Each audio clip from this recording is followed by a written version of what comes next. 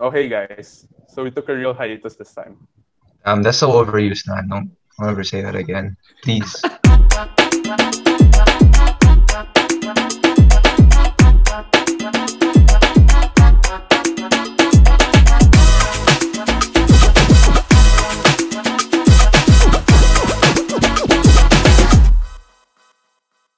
So guys, welcome back to our what is this? Tenth episode of 730 Lectures. I know you know it's just like 10 episodes, it's just like two digits, but I'm really glad at how far we've come, right? Io and Renan. Like Yeah, it's man. it's been such a long and exciting journey that I'm looking forward to continuing. But most of all, thanks to our audience, right, for um following our content, watching each episode, and Yeah. even we received like I wouldn't say pitches, but like suggestions on what new topics we can cover, and that's been really exciting. You know, creating a community around a college experience, like it's really what college should be about. Yeah, so thanks guys so much. I'm really grateful for our audience, honestly, because you guys are so proactive. You guys are really like supportive. Like even if we're we're, we're all like super sabaw, like you still tolerate us, you still watch our content. So thank you so much from the bottom of my heart. Yeah, so thank you guys so much. You guys honestly inspire us to like be better content creators and be better college students. And I hope it's like uh it's something reciprocated to you guys as well. Hopefully we inspire you guys to, you know, enjoy your college life, strive hard, work hard. But just in case you guys are tuning in for the first time on 730 Lectures, uh, my name's Zach. My name's Iya. My name's is Renan. So before we begin with our episode, I just want to like point out that a few weeks ago, the Philippines experienced a really terrible typhoon and it uh, displaced a lot of people and it has left a lot of people lacking resources and a lot of people are in need right now. So if you guys could if you guys um if you guys haven't donated yet or if you guys want to donate more um, we're gonna be li- leaving links in the description on our facebook and youtube channel. And um, i hope you guys um, find some time to also learn about you know what's going on in the philippines right now and also be able to understand you know what people really need and so you can help in your own ways. So yeah don't forget to check those out guys. Now as you guys know in ateneo we just ended the first quarter and that just marked the first like midpoint uh, for freshman the school year and you know honestly it's been quite different. You, you can agree guys like freshmen have experienced it way different. Like they didn't have graduation and they didn't experience you know orientation in college and stuff. So we're going to be talking about that today. It's been something on my mind too, actually, like how our freshman experience has been. Looking back, um, it has been cut short, yes, by COVID, and but there are a lot of good things that I really miss about my freshman experience. It's been really fulfilling, and it's kind of what got me started into wanting to be active in a lot of involvements on campus, right? Yeah, I can I can agree with that sentiment, Zach. Like I feel like college, especially my freshman year, like the first semester, was really a time of discovery and trying out new things. I remember attending like my first job fair and eh, with my whole business suit, giving my resume. It was like it was, as you said, very fulfilling, daunting also. But then uh, I think these are like necessary life experiences for us to really develop. And you know, guys, I think it would be perfect if we actually hear from one of these freshmen today. And joining us live today is Elias. I'm pretty sure you guys know him too. You know, some of that blue and gold savior and pride. Anyways. Anyway, um, Elias, how's it going? And why don't you introduce yourself to us real quick? And you know, to the, our audience Ayun. too. Hi, Elias. Hi guys. Hi, what's up? I'm Elias Juan and I'm a freshman at the Ateneo University. Ateneo de Manila. University. Um, I'm studying. I'm studying, ano, BS Management Engineering this year, and I graduated from Xavier earlier this year through online graduation from the I do. IB, from the IB Diploma program. So much I saw, I saw that, dude. yeah, we weren't able to get stuck in one sport in the sports center and in the heat. But then at the end of the day, it's worth it. Or at least you're stuck in, at home, but then it's not the same. I'm sure you like, you know, you your batch really experienced like the effects of coronavirus on like the most memorable parts of high school. Like you guys didn't have ball, right? We had grad ball. That was the week oh, before Okay. it Oh, everything that's ha- happened. Clutch. Yeah, clutch. clutch. Oh my, wow. But I know you didn't have Orsem and stuff. You didn't have like Yeah. you don't have physical classes. So like I know like those parts of college also are like super like memorable for like Ateneans and stuff. But prior to like coronavirus happening, like what were your expectations for college? Like when you were still back in high school when you didn't know like everything was gonna be online for your first year? Um, well, honestly, I think these expectations were still the same earlier in the year. Um, I really expected to go to Katipunan every day, Mm. and um, yeah, basically expected to go to physical classes and meet people face to face. But then right now, I don't I don't think that's possible. Um, I was really hoping earlier in the year, even like March or March or April back then. I really I was really wishing that we could go to physical classes, but then at that point in time, um, it hasn't gotten better. So I think right now it's more of adjusting. I mean, we're, pretty adjusted, but yeah, to online classes. Perhaps like the college experience? Were you were you excited for any like joining any orgs or perhaps I'm sure you've heard about things from um upperclassmen who are already in Ateneo. Like, were you looking forward to any of those? Yeah, I was looking forward to, to joining the home org, um, Maya. But then, I'm because I heard that they had a lot of, they it was a lot of fun. But then, I got but then um joining it now, they they I think they were able to adapt a lot of their physical activities to online, and I think, and I that's really I feel that that's really important to how the, to keep the college experience still feel like a college experience even though it's all online. So if like those are your expectations. Like what's actually happening now in your academic life? Like how can you like walk us through your day-to-day like what's your schedule like and like how do you interact with your schoolmates? There's not necessarily a synchronous session every day. It's mostly on it's mostly they just post the modules on canvas um which is basically a site for all the school stuff and um, it, it's a lot of discussion boards, which I personally don't prefer over physical classes. Canvas is so, Canvas it, is so malabo, diba? yeah, it's so malabo. Like some teachers would grade it, some teachers wouldn't. Yeah, Wait, it's really boards, up to your prof. I'm sure all of us. I mean, like even students around the world, they know it's like when you respond to your peers, it's like, oh, I agree with you very much. I agree with you very much. Acknowledge. It's not not. I love your point. Like that. Bola bola. it's not it's not that it, it really doesn't feel like in, in class and you honestly take more time answering the questions of the teachers because you want to make it because some teachers grade it so you want to make it look really good there are a lot of things right that go into um being a college student and i guess a lot of it also is composed with your social life so how has it been different ever since COVID started? You know, especially aside from the social distancing aspect, how could you see your social life being different if you were in person? Social distancing, kasi the distance is from your computer screen to the other's computer screen, honestly. Um, so the social life for me, um, I, am a really strong believer in, a, in online in an online setting. It's really it's still really easy to meet people, but at the same time, it's also really easy not to meet people. So I've been ano, elected as the first year development council in MEA. So that so basically it's like a batch rep role. So one of that's one of my that's one of the things that I have to tackle. So I, I really have to be able to make these people, even the in- more introverted people, meet other meet the more extroverted people. Because honestly, a lot of the people that I'm meeting right now, they're I really think of them as the extroverted types.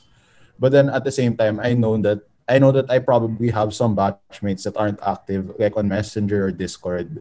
But then they but then I'd still want to reach out to them and hopefully befriend them because eh, college is about networking and making friends, not about studying. Na joke. in your Discord, like you're the one like in charge of getting people on the Discord and you know just being there every day. Are you like that person? Um not really. Um there's someone else in my batch who manages the discord. It's just that i use it a lot. And they really made it. And those and the people who are in charge of it like the admins of the servers they're really good at their jobs. And even though they're not even though it wasn't even expected of them. So so yeah, a lot of people just go there every day, study together, talk together, even video chat because Discord has video chat now. So yeah. But that's good. Huh? Like you're able to you're able to like manage the online setting despite you know it being kind of awkward. But do you ever feel like uncomfortable like meeting people online for the first time? Honestly knowing that they're already my batchmates, I don't really feel that uncomfortable. I think the one oh, weird thing lang is now when you meet people online, you start asking them for how tall they are. Dude, same. yeah, yeah, that's how tall they are. Why is that a thing? Because uh, you, you don't, you haven't seen them face to face. Like imagine you see yeah. this guy, you think that he's five, you think that he's five foot long. Because when you see him yeah. in real life, he's a six footer. My God.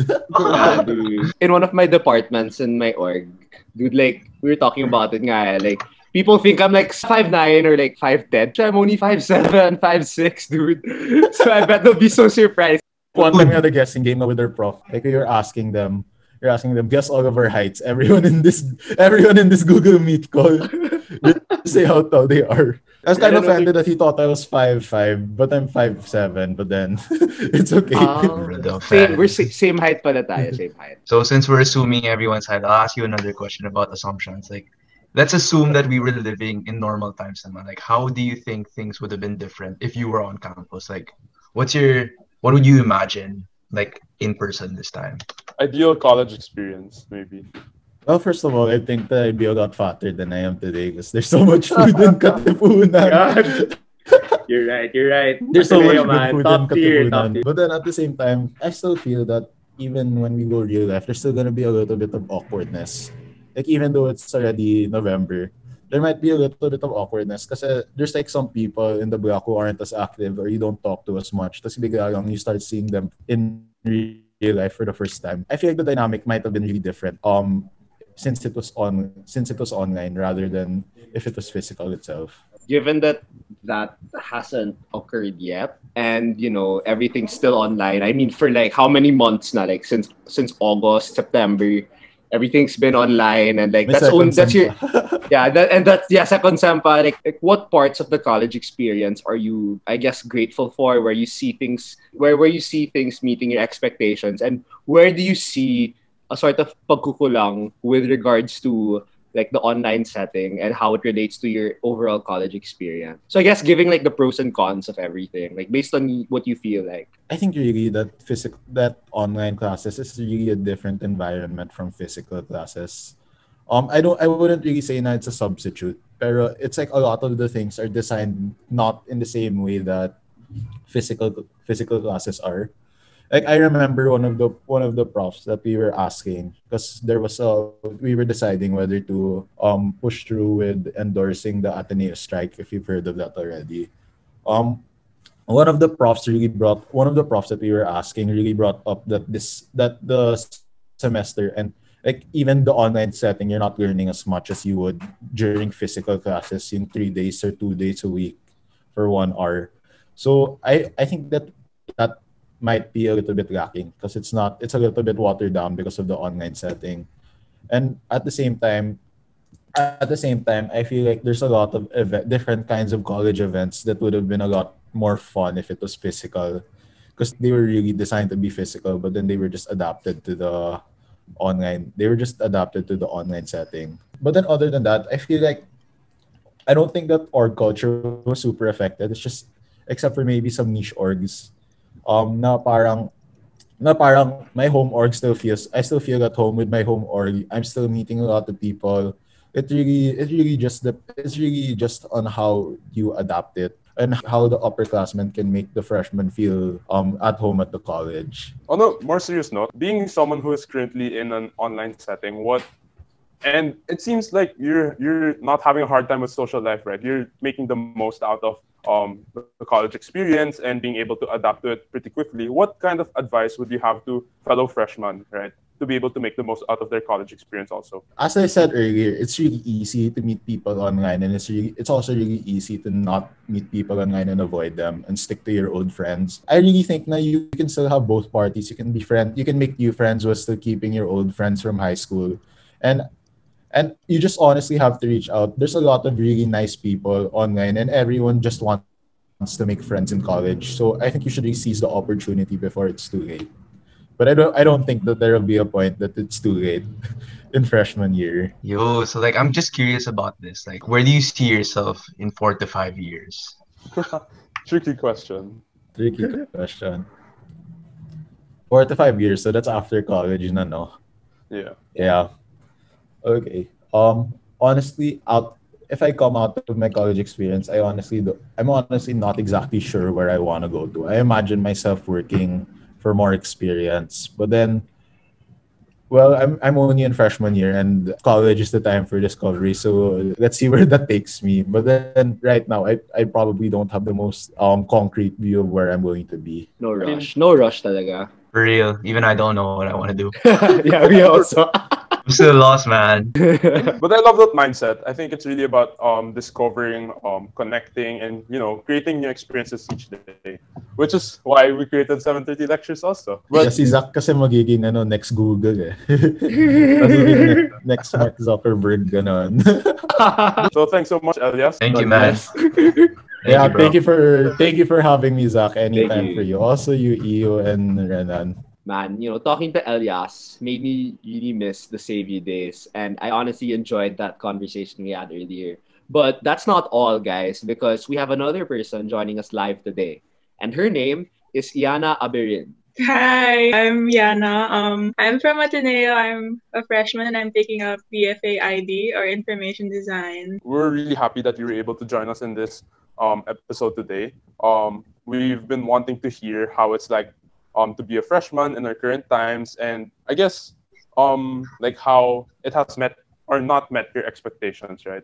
I guess that's my first question, right? Like, um, what were your expectations for college before COVID hit? Um, well, honestly, like, because I have a lot of family members who have gone to Ateneo as well, and um, I was excited to like join orgs, of course, and meet a lot of new people, make new friends, um, and was I was also definitely expecting that it would be way harder than high school because that's way like they're so different. So uh, I'd like to ask now that you know everything is now online and you're experiencing college in such a different way. You know, honestly, like the three of us didn't enter college in this setting, so we just we're just really curious. Like we want to ask about like how your life is as a freshman during the COVID era. How is your academic life so far? It's definitely difficult to um, adjust. It was really hard for me to adjust, especially since it's super new, like this whole online setup. And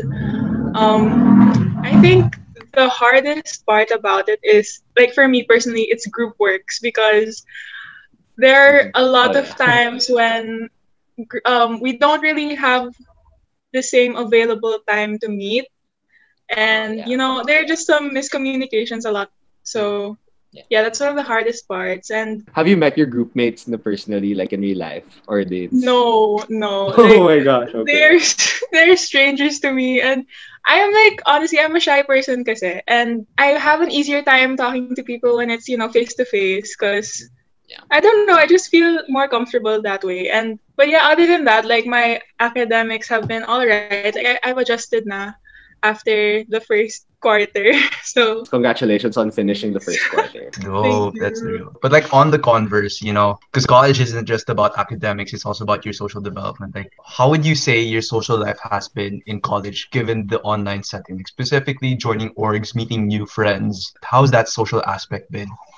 I know I said I was expecting to join orgs in the start, like before COVID, but then when I was um already like in it or like starting classes, like I realized maybe I can just join another year because I wanted to focus on my academics, my grades, since yun nga, it's like harder now. But I actually made friends. Like I have new friends now, even though it wasn't easy making them. Like, but Mhm. uh, I just met them like through other friends. So we've actually become really close and the, the bond is great. So yeah, I think That's nice. in terms of my social life, like it's going pretty well. That's nice. That's good to hear naman, Yeah. despite, you know, the challenges of an online setting. I wanted to try joining code and also because I'm kind of musically inclined, so I wanted to join uh, an org that involves, you know, music and stuff. Yeah, I've seen those code posters on Facebook. They always have to put "We're not a coding org." Uh, Yeah.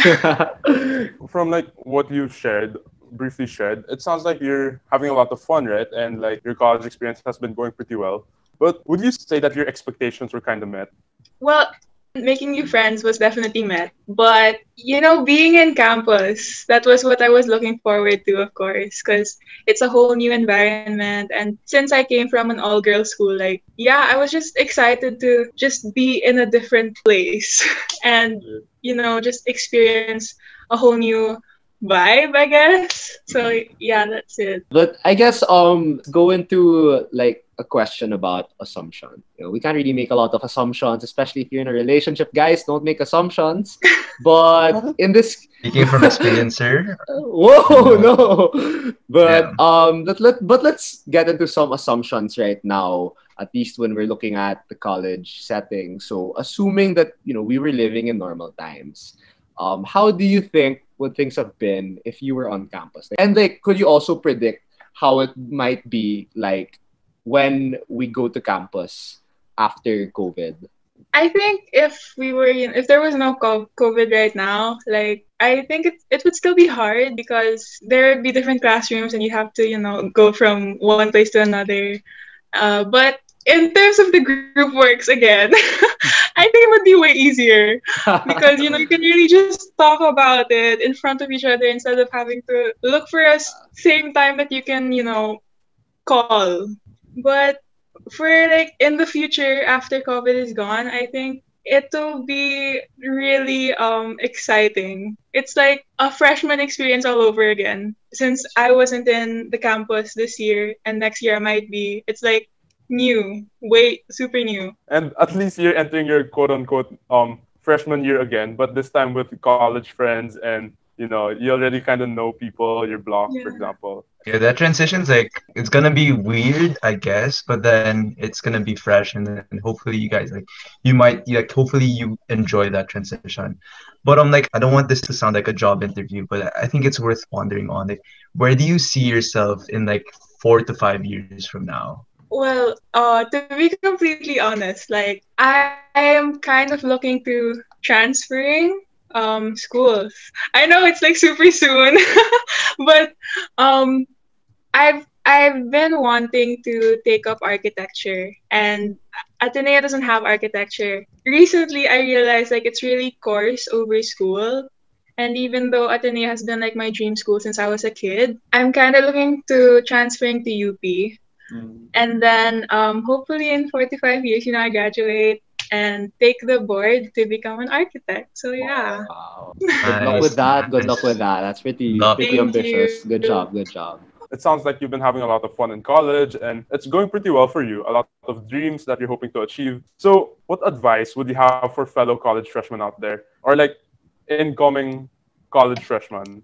Um, I guess number one thing I have to say to them is that they're not alone because throughout this whole online setup, I had a really difficult time because you know when you're in the physical setup, it's like you have your peers and you guys can struggle together throughout the whole thing. Yeah. Um, and I'm not saying I don't have my family. You know, my family supports me and they're always there for me. But yeah, I just want to remind them that they can always just reach out to people that they're close to, or even just their um blockmates, because I think that's really how you form a bond. You know, you just you just talk, you guys just talk, and they just have to remember to manage their time well and that they'll eventually be able to adjust no matter the circumstances. So yeah. That's great advice. And super thank you for making Cuento with us. Uh, super chill long, But you really learned a lot, and I hope our audience learns a lot as well from you. And shout out to Tiff for um, helping me get Iana on the show. Thank, Thank you, so much. Me. Thank you. Damn, guys, hearing those freshman stories and like what they said, it just made me really remember freshman year how good it was. Don't you guys feel the same? Yeah, yeah I feel, right. I feel. But I think it's kind of unique also, right? It's what the current freshmen are going through. It's not something we've experienced, especially, you know, meeting your new friends, classmates over Discord, right? Seeing what type they are and stuff, figuring that out. You know, that was not a thing when we were in physical school. So it's kind of like it's kind of like a mixed bag, I guess, when it comes to like what people are experiencing. Like some of it's like really funny, some of it's kind of sad. But then overall, I really hope that you know all of our listeners right now you know experience college and maximize it to the fullest even if you know everyone's just at home and stuff so i mean even us like we're experiencing college in the online setting as sophomores, and it's it's it's, it's not that easy. I mean, like it's not the mo- it's not the most desirable either for us. So you know, really, really, it's really a matter of you know pushing ourselves. Yeah, but you know that's why here at 730 Lectures, it's our I guess it's like our mission to create content, right? That inspires yeah. fellow college students to live each yeah. college day differently, right? I guess that's it for our 10th episode. And we're really excited Thanks, that you guys joined us today.